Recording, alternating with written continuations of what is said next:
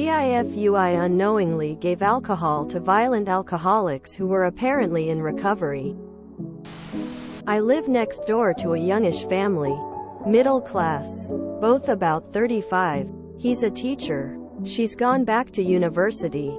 They have a daughter who's just started school. Keep to themselves mostly but friendly and I thought quiet folks. They entertain occasionally. Busy. Average. Hard-working folks. Apparently. About a year ago I was having work done to my flat. The builder was storing materials on my drive in such a way as to narrow the neighbor's access. Slightly. Plus the builder made a lot of construction noise. As a sorry for the inconvenience, and a thank you for being cool, I left them a bottle of wine at their door with a card. Fast forward to last Saturday night about 1 a.m. my son wakes me up to tell me the cops are next door.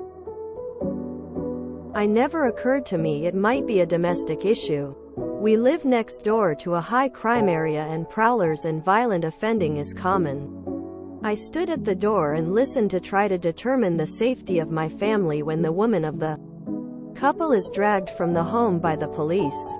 She's struggling and screaming at them. This and that and something about domestic violence. She's secured in the back of the police wagon and the officer read her the temporary protection order her partner had been granted against her. I was floored. I spoke to some of the other neighbors the next day. One lady's flat shares a wall with these guys and tells me she hears it all. That they drink to excess regularly and then argue. Often violently that it's been going on for years and the woman would often seek refuge in the lady's flat late at night, claiming to be a battered woman, telling her all about it, often sleeping on the lady's couch with a small child.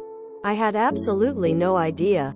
Apparently they'd stopped drinking for almost a year but started up again about a year ago. I feel bad about the whole thing. Especially for the child. TLDR.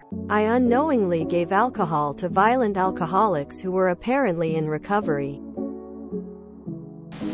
Recovering alcoholic here. If they were practicing true recovery they would have thanked you for the gift but explained that they don't drink and returned the bottle to you. Don't carry the weight of their relapse on your shoulders. It isn't your fault. Sad story still. One bottle of wine didn't cause this. They didn't need your bottle of alcohol to get hammered. They sell that stuff everywhere. It's their choice. If they can't refuse alcohol and tell you why they aren't in recovery, they are merely putting off drinking. Alcoholic people are very persistent. Lived with a few. Lost a fiance to alcoholism, suicide. Father alcoholic. Ex-wife alcoholic. Plenty of experience. Those who truly give up would tell you no thanks and here's why. Because they can face their problems not your fault at all. Very sad to see. Alcohol is too acceptable in society. Look, they already had the problem. Lesson for you though. Never buy people alcohol unless you 100% know they do drink and they don't appear to have a problem.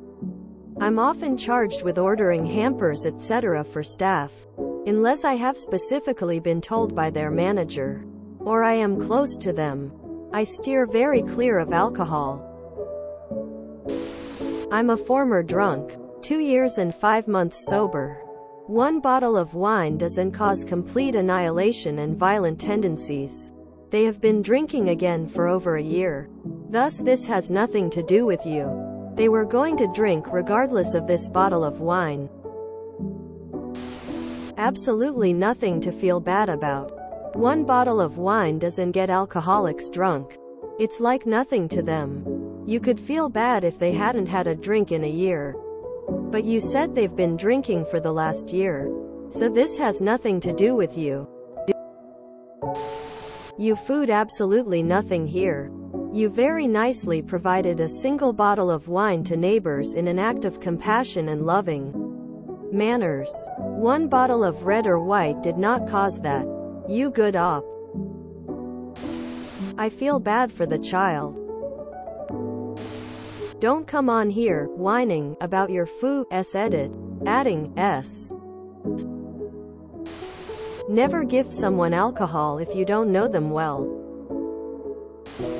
If you enjoyed this video, please check out our playlists full of similar content. Epicaricast is like doom scrolling for your ears. Please like, share, and subscribe.